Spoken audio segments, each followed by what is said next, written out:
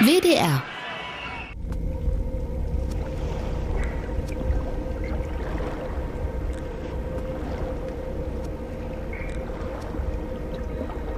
Tief unten lebt etwas im Verborgenen. Etwas Großes. Kaum jemand bekommt es je zu sehen. Die Badenden sind ahnungslos. Der Rhein zwischen Speyer und Worms. Die Baggerseen heißen hier Blaue Adria und die Campingplätze Grüner Süden.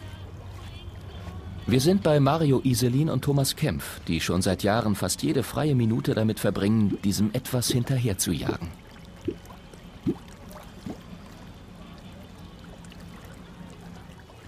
Da vorne, bei sieben Meter. Im Alter von fünf Jahren haben sich die beiden beim Angeln kennengelernt. Seit dieser Zeit sind sie ein unzertrennliches Team. Immer auf der Jagd nach dem Fisch ihres Lebens.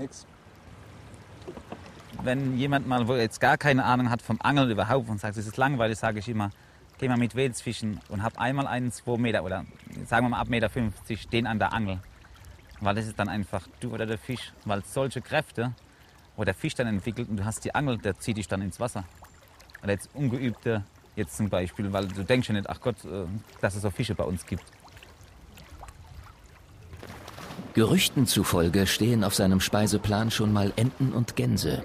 Hin und wieder soll ihm aber auch schon ein kleiner Hund zum Opfer gefallen sein.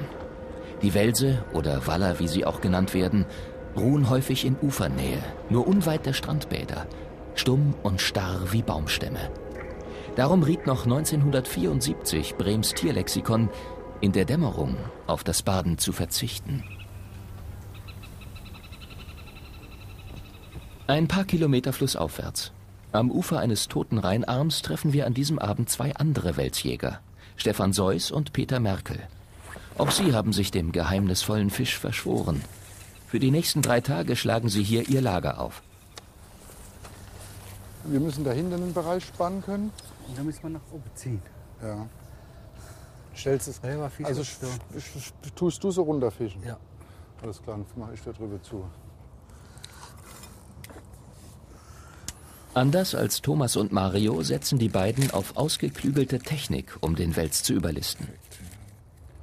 Wir staunen über die hochprofessionelle Ausrüstung. Viel Elektronik, Routen aus Kohlefaser und zigfach kugelgelagerte Rollen. Materialeinsatz wie bei einem Manöver. Der Wels sieht halt anders aus wie andere Fische. Deswegen wird er als unheimlich angesehen, auch wegen seiner Größe. Er sieht halt auch mit seinem großen Maul und auch äh, hat er auch andere Flossen wie andere Fischarten und das macht ihn irgendwie zum Urfisch, also irgendwie zum, zum, auch zu Leuten zum Ungetüm, weil er halt gerade anders aussieht und weil er halt gerade so groß wird. Ja, ich denke, irgendwo ab einer Größe von 1,30 Meter, 1,40 Meter ist es, ist es einer der größten Süßwasserfische, die gibt. Und er kann ja bis ins Unermessliche wachsen. Das weiß ja keiner genau, wie groß so ein Wels werden kann. Wir, ich ich habe selber schon Waller gefangen bis 2,48 Meter, also knapp 2,50 Meter die Schallmauer geknackt. Aber das ist ja noch lange nicht das Ende der Fahnenstange und das ist ja schon ein Riesenfisch. Ja. Wir erfahren, dass Welse bis zu 100 Jahre alt werden können und zu den wenigen Fischarten gehören, die ihr ganzes Leben lang wachsen. Ohne zu ahnen, wie groß sie einmal werden können, setzte man sie vor gerade erst 30 Jahren in vielen deutschen Seen und Flüssen aus.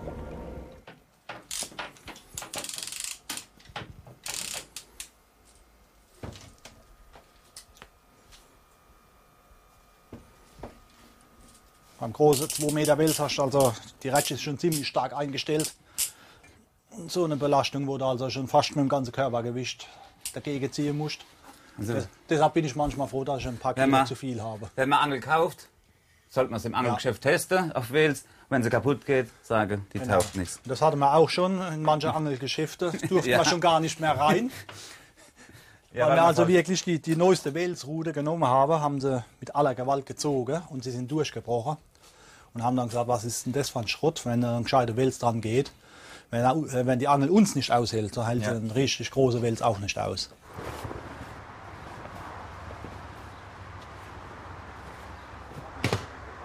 Ihren größten Fang machten die beiden vor sieben Jahren. Deutscher Rekord. Eine Dreiviertelstunde lang zog der Waller ihr Boot über den Rhein hin und her. Der Wels war zehn Kilogramm schwerer und einen halben Meter größer als sie selbst.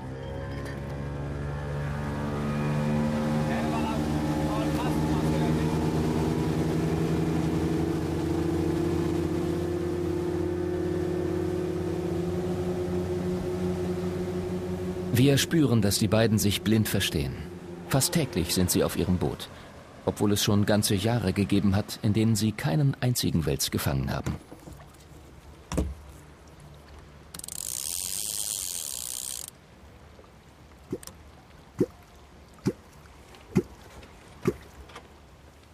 Von Thomas und Mario geht eine große Anspannung aus, die sich langsam auch auf uns überträgt. Jeden Moment könnte der Fisch der Fische beißen. Mit dem sogenannten Wallerholz versucht Thomas sie anzulocken.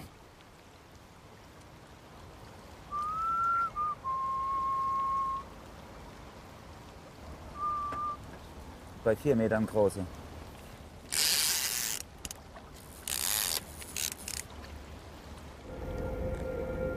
Mario erzählt uns etwas Merkwürdiges.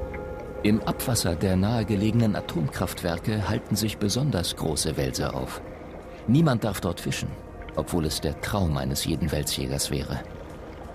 Schon immer rankten sich Mythen und Legenden um diesen geheimnisvollen Fisch. In Japan glaubte man, er löse Erdbeben aus. Aus Kasachstan wird berichtet, er bringe Boote zum Kentern.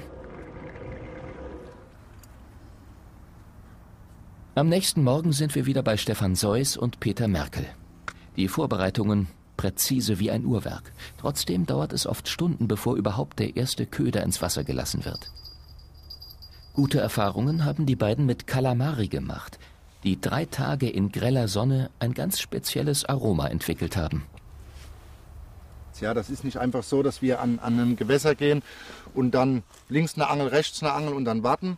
Wir tun schon vorher das Gewässer und vor allem die Bodenstruktur sehr stark studieren. Und die Steine helfen uns einfach, den, den Köder exakt zu fixieren. Also die Steine sind so wie, eine, wie ein Gegengewicht. Der Köder wird dann daran befestigt. Auch bei Strömung kann ich wegtreiben. Wir spannen das Ganze übers Ufer und können dann stundenlang am gleichen Platz unseren Köder fixieren und so hoffen, dass dann auch der Fisch dort vorbeikommt und den Köder nimmt.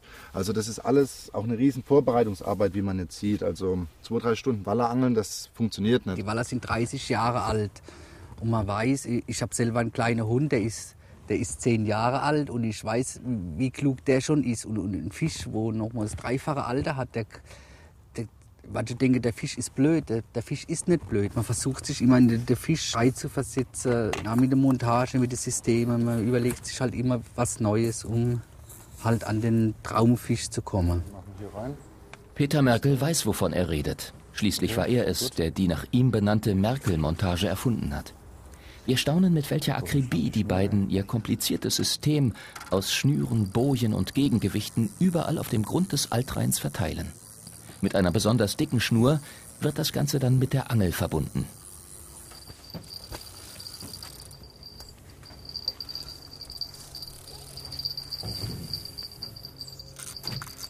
Das Wallerangeln ist nicht dass man da sagt, ich werde den Fisch gern fangen, weil er besonders hübsch ist oder weil er besonders schmackhaft ist oder was weiß ich. Das ist diese urische Kraft des Fisches, diese urische Größe, das urische Aussehen. Und wenn man dann Kontakt mit diesem Fisch hat, dieser, dieser bärische Kampf, das ist nicht wie an einem Forellensee, wo man irgendwie so die Angel reinschmeißt und eine Forelle reinleiert oder, oder aufpassen muss, dass der Fisch nicht ausschlitzt. Bei dieser Angelei muss man aus, aufpassen, dass die Rute einem nicht bricht, dass man nicht über Bord gerissen wird, dass die Schnur nicht reißt um den Fisch zu landen, muss man den Fisch äh, ins Maul greifen. Es gibt keinen Kescher, dass man den Fisch so auf Abstand keschert und dann gefangen hat. Es ist ein sehr ehrwürdiger, äh, gigantischer Gegner. Es ist so, ja. Ein Fisch von zwei Meter ist, ist keine Forelle. Das ist ein Riesenfisch und der hat 50, 60 Kilo Körpergewicht. Und das kann er in, in allen Situationen einsetzen. Und wird auch einsetzen, wenn er um sein Leben bangt und wenn er an der Angel hängt. Etwas später finden wir Thomas und Mario weiter stromaufwärts. Sie sind enttäuscht von den vergangenen zwei Tagen. In den Rheinauen bei Speyer suchen sie jetzt eine bessere Stelle.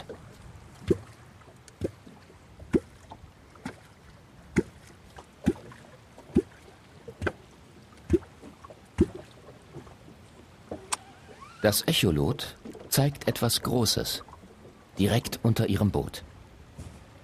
Mara, da ist einer schon die ganze Zeit bei drei Meter bei zwei Metern, der könnte eigentlich beißen. Der ist schön. Der ist richtig schön. Da ist jetzt bei 5 Meter. Und dann tust du halt dementsprechend dann deinen Köder hochziehen auf der Position, wo er ist und hoffst halt, dass du einen Biss hast. Und das Wallerholz tut halt ein Geräusch erzeugen, wo der Wels wahrnimmt durch seine Schwimmblase. Und die Welse sind halt sehr, sehr neugierig und auf die Geräusche reagieren sie halt, kommen hoch, um zu gucken, was es ist. Und wir sehen halt dann, wenn ein Wels kommt, auf dem Echolot und das Echolot tut dann ein Bild darstellen davon und dann sehen wir dann, wo der Wels dann ist. Und wir lassen halt dann dementsprechend den Köder runter auf die Höhe, wo der Wels sich befindet und hoffen halt, dass er dann beißt, dass man irgendwie zum Biss verleiten. Immer noch vier. Ist wieder weg.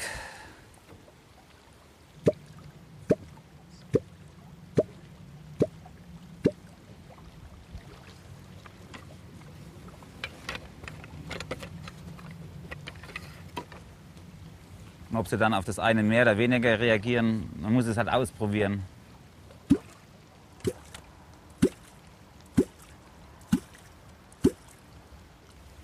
Da ist wieder einer. Geht hoch auf 3,50 Meter, ist er wieder weg. Ist jetzt bei, da ist er. Jetzt ziehe ich hoch. Jetzt bin ich genau beim Wels.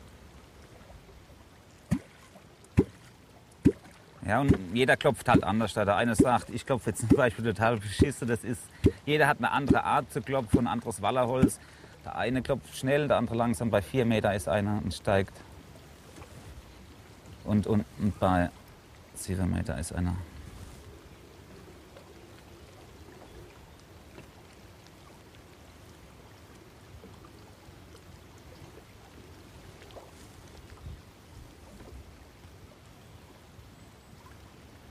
Na, ziehen wir kurz an. Ja, da ist noch da, das ohne. Während bei Thomas und Mario ständige Alarmstimmung herrscht, sind wir überrascht, dass Stefan und Peter immer noch bei den Vorbereitungen sind. Unendlich akribisch und gewissenhaft.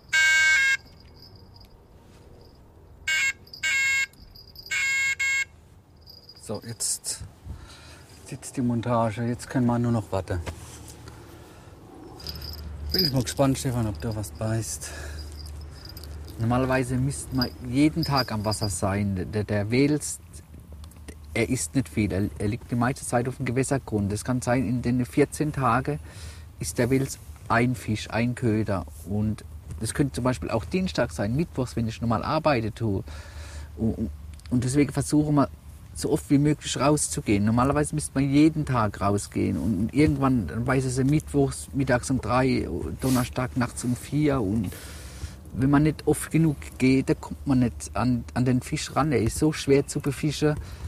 Man braucht die, die Zeit. Das sind Nächte, wo, wo nichts bei ist. Es ist, man sitzt sich eigentlich den, den, den Waller und die Zeit benötigt man sonst hat man keinen Erfolg. Die meisten Leute verstehen das gar nicht, warum man seine, seinen Urlaub oder seine Freizeit am Wasser verbringt. Die meisten Leute sehen das als total langweilig an, aber für uns ist das es ist wie eine Sucht. Es ist, es ist eine innerliche Sucht und das merkt man auch, wenn wir jetzt äh, mehrere Tage nicht angeln waren oder ein, zwei Wochen nicht zum Angeln konnten aus irgendwelchen ähm, beruflichen Gründen oder familiären Gründen, da merkst du, wie du zu Hause nervös wirst. Ja? Du wirst unausstehlich, das ist wie bei einem Süchtigen. Du wirst unausstehlich, du reagierst immer so auf, auf Sachen, du, du gibst wirst einfach unleidlich. Und wenn du dann wieder deine Sucht befriedigt hast, indem du drei, vier Tage unterwegs warst, dann kommst, ist es alles wieder top. Und, ja. Zum Beispiel, wenn ich am Wochenende mal nicht zum Angeln bin und muss, habe irgendwas vor, wo ich erledigen muss, äh, zu Hause im Garten was mache oder äh, halt am, am Haus was, an der Wohnung was. Und dann liegt man halt dann nachts vom Einschlafen im Bett und dann ach, sind jetzt gute Bedingungen, wäre ich jetzt am Wasser, würde ich was fangen, überlegst und überlegst, ach, jetzt, jetzt hätte ich vielleicht doch die Chance auf meinen Fisch und lieg halt hier im Bett und äh, lieber würde ich jetzt am Wasser schlafen. Bei Mario Iselin zu Hause. Mutter Heide kümmert sich bis heute um seine Wäsche. Sieht man ja, dass es ein Fischerjäckchen ist, gell? So bleibt ihm mehr Zeit für den Wels. Bei Mario war es ja so, der war ja so ein arg hibbeliges Kind. Der war ja ganz hibbelig, ne? Und durch die Fischerei ist er ruhiger geworden. Ist dann mit dem Opa, sind die immer fischen gegangen, da mache ich natürlich von raus, der Opa alles getragen, bis der Opa ohne warm Wasser hat er meistens seinen ersten Fisch gehabt und so. Ne? Und der ist dann irgendwie ruhiger und ausgeglichener gewesen. Den konnten sie nicht allein im Garten lassen. War er da hinten, war er schon wieder oben auf dem Baum. Ach Gott, ich gehst jetzt runter. Jetzt war da hinten schon wieder was. Und da vorne war ein ganz hibbeliges Kind. Ne? Und das, glaube ich, hat auch mit beigetragen, dass er jetzt ruhiger dann geworden ist mit den Jahren. Gell? Ja. Ja, das weiß ich schon wieder, aber das habe ich gar nicht gewusst. Ja. Doch, der alles Oh. Das ist beim Machen bei mir auch so. Ich brauche mal drei Tage in der Woche, wo ich Fische gehe. Wenn ich die nicht habe, ich muss raus ans Wasser. Und die drei Tage ist schon viel in einer Beziehung, weil, aber die musst du dann nicht, weil auch, du hast den Arbeitsdruck heutzutage, du musst jedem Rechten machen, du musst pünktlich sein. Und wenn ich sage, man, die drei Tage nicht mehr hab schon, ich war mehr früher fünf Tage in der Woche Fische. Da war ganz egal, ob Freundin oder nicht. Da haben wir das durchgezogen, aber mittlerweile ist man ja älter Woche und sagt einfach, Zugeständnis muss man machen, mit der Freundin absprechen, drei Tage zack, mit dir verbringe, drei Tage Fische und dann hat es auch gepasst jetzt. Früher Abend. Eigentlich ist Donnerstag, Freundinnentag. Wäre da nicht der Wels? Heute Nacht ist Neumond. Da stehen die Chancen einfach zu gut. Nur, dass der so faul ist und nicht immer ein bisschen herkommt. Bei sechs Meter ist er. Und der ist groß. Der ist riesig groß. Ui, schau mal hier. Der ist riesig. Da ist er wieder. Bei vier Meter. Aber ich weiß nicht, wo der. Ja, er. Zumindest sucht er. Es sind zwei Wels da. Ich lasse ihn jetzt einfach Mutter. Ja, aber das ist. Jetzt ist er wieder bei sechs Metern. Da Da kommen wir jetzt zum Auflegen. Da ist er wieder. Das ist jetzt, äh, die sollen, die sollen beißen. Weil irgendwann wird es dann zu arg. Dann guckst du nur noch und denkst, warum nicht? Was mache ich falsch?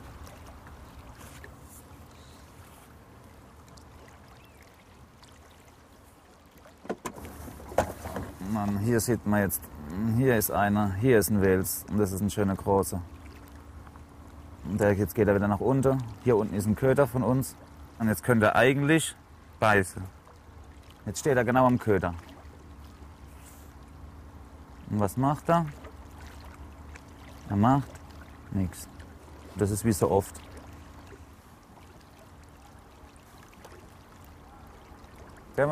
Na, jo. richtig, richtig schön.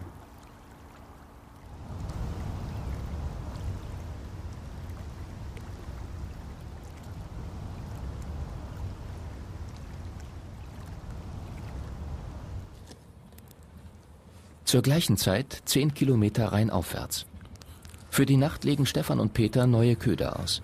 Sie haben uns erzählt, dass sich der Wels an windstillen und gewitterschwülen Abenden auch in der flachen Uferregion aufhält. Immer neue Varianten probieren die beiden aus, denn letztendlich weiß niemand genau, wie sich der Wels verhält. Er bleibt ein Rätsel. Aber gerade das macht für Stefan und Peter den Reiz aus.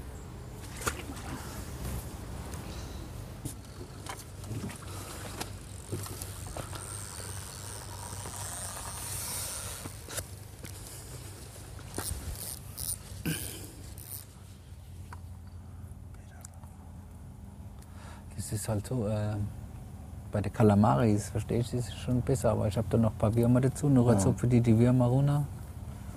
Aber heute ist, eine Deswegen perfekte, heute ist eine perfekte Nacht, ist kein Mond da, schön dunkel. Die Mücken fliegen tief, dann sind die kleinen Fische an der Oberfläche. ich fange heute noch einen fette Wanderstörung. Ja, heute ist gut.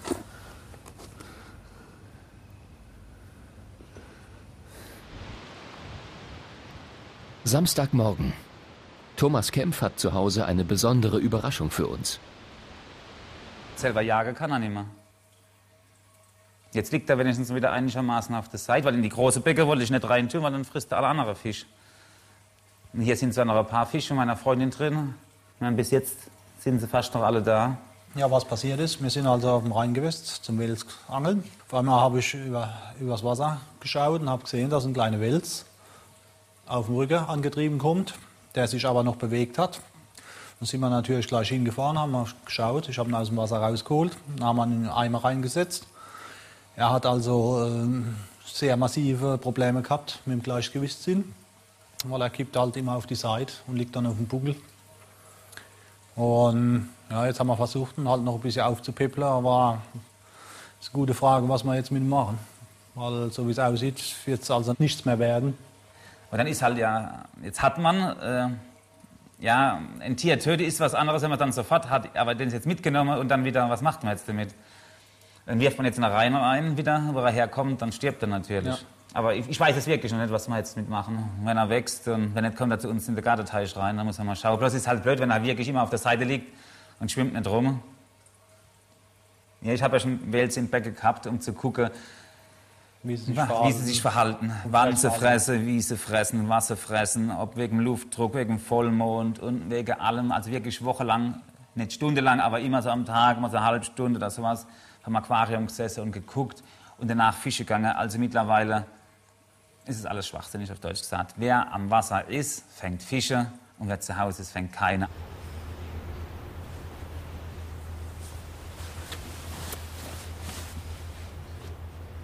Seit drei Tagen harren Stefan und Peter jetzt schon aus. Wir fragen uns, ob ihre zeitaufwendige Leidenschaft überhaupt noch ein Leben neben dem Waller zulässt.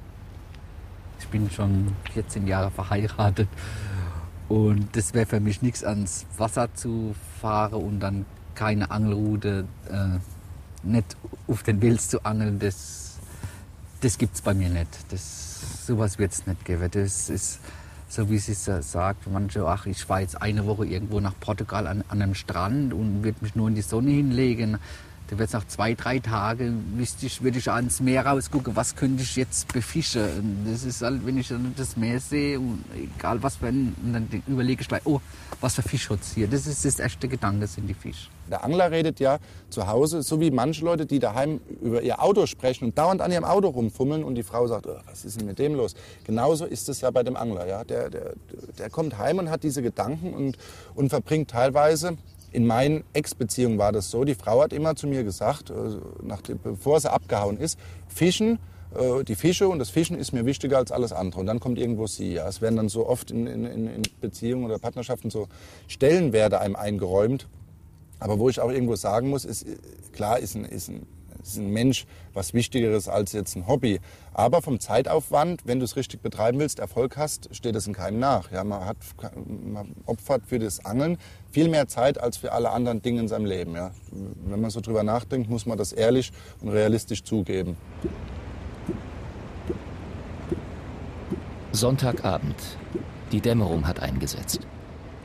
Seit nun vier Tagen sind Thomas und Mario ständig auf der Jagd. Wir haben längst die Hoffnung aufgegeben, noch einen großen Wels zu Gesicht zu bekommen. Aber wir haben den Eindruck, als wollten die beiden es heute Abend um jeden Preis erzwingen.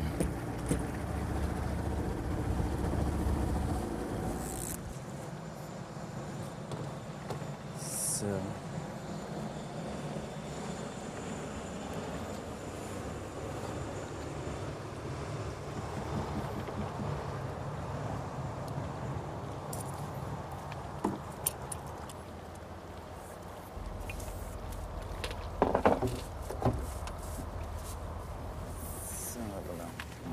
Man da? Ah, da ist er wieder. Da kommt einer bei sechs Meter. Der ist richtig schön groß. Und Der ist immer noch da. Immer noch.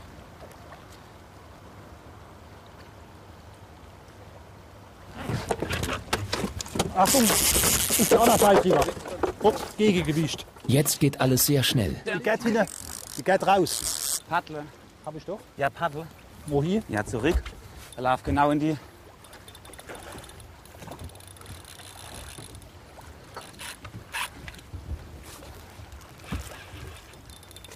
Zurück. Muss ich mit dem Motor machen. Mit Paddel packe ich nicht. Das packst du schon. Wir sind zu viel Leid im Boot. Das packt schon. Gut. Okay. Und auf die kleinste Angel, was es überhaupt gibt, und mit der leichtesten Montage, In dem leichtesten Vorfach, da beißt er drauf.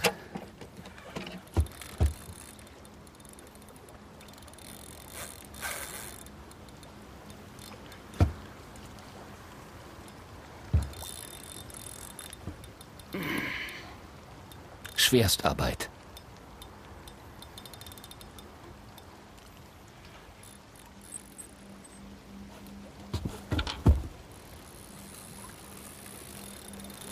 Der hat zwei Meter. Er. Das Futter. Hat man nicht mal Luft bloß abgelöst, gar nichts. Und er zieht das Boot.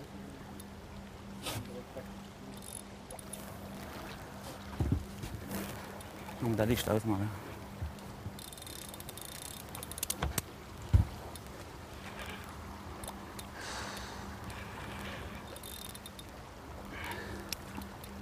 Achtung, ich fahr zurück. Dass er nicht in das Da ist er. geht. Da ist er. Da kommt er. Da kommt er. Ui, Ja, schön. der hat zwei Meter.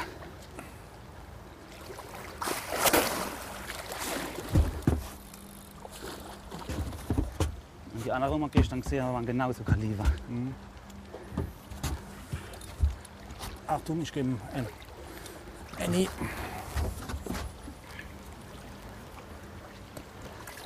Oh, ist er schon. Nehmen wir das einer. So.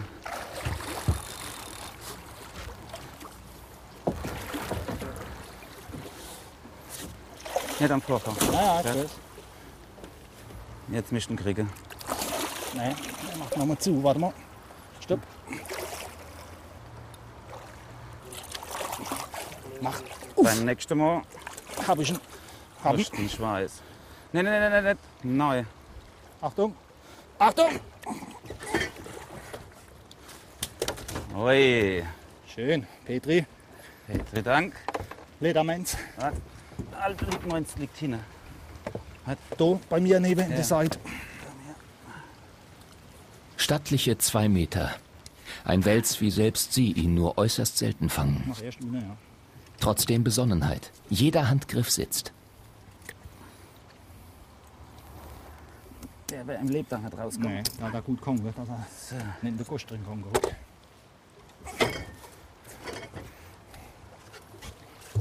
Boah, Schöner der Kerl. ist schon schwer. Ich habe die Vogue alles dabei. Ja. Komm her. Dann interessiert es mich. Petri Heil. Danke, danke, danke. Ja. Wow. Der hat 72, 75 Kilo. Hm, 68, 69 schätze ich mal. So, Und jetzt das Wallabier. man trinkt zwar nichts auf dem Boot, aber ich glaube, jetzt haben wir uns eins verdient. Nach wochenlangen Fischen und dass sie uns geärgert haben die ganze Zeit. Jetzt haben wir einen. Prost. Glücksmomente.